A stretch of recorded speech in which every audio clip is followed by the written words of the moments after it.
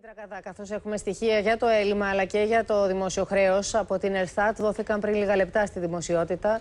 Πού έχουν φτάσει οι δείκτες, λοιπόν, Δημήτρη. Που ουσιαστικά τα στοιχεία που έστειλαν στις Βρυξέλλες έχουν σημερινή ημερομηνία 23 Απριλίου. Υπενθυμίζουμε θα γίνει επικύρωση. Uh -huh. Να το πούμε λίγο ανάστροφα. Αποκαλύπτουν ένα τεράστιο πλήγμα στο εισόδημα από την κρίση. 2010-2013, 40 δις η απώλεια στο ΑΕΠ, στο καθάριστο εθνικό προϊόν. Το χρέος σκραφάλωσε στο 175% του ΑΕΠ από 157,2 ένα χρόνο πριν το 2012. Για το έλλειμμα, τα στοιχεία της ε, Ελστάτ δείχνουν έλλειμμα χωρίς τα βάρη που προκαλέσαν οι τράπεζες στο 2,1% του ΑΕΠ. 2,2 λόγιο προπολογισμός είναι μια οριακή διαφορά. Πρέπει να υπενθυμίσουμε ότι δεν δημοσιοποιούνται στοιχεία που είναι συμβατά με το μνημόνιο.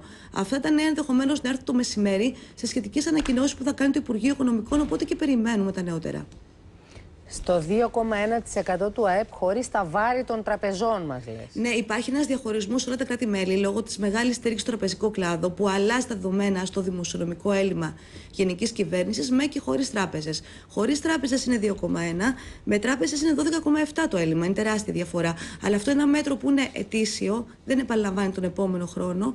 Άρα παντού σε όλα τα κράτη-μέλη δεν προσμετράται. Με τους στόχους που είχαμε θέσει, τους ακολουθούμε, είμαστε εντός ή εκτός; Όχι, είμαστε εντός στόχων υπάρχει και βελτίωση κιόλας σε σχέση με το, την προηγούμενη μέτρηση. Εντός στόχων και στις δύο περιπτώσεις, και με ε, τράπεζες και χωρίς. Ναι, είμαστε, υπάρχει βελτίωση σε σχέση με τις εκτιμήσεις. Που αυτοί είναι πίνακες, είναι η πρώτη ανάγνωση. Α δούμε καλύτερα τι θα υποθεί το μεσημέρι που θα γίνει και η σύγκριση με τους περίφημους μνημονιακούς στόχους για να έχουμε καλύτερη εικόνα.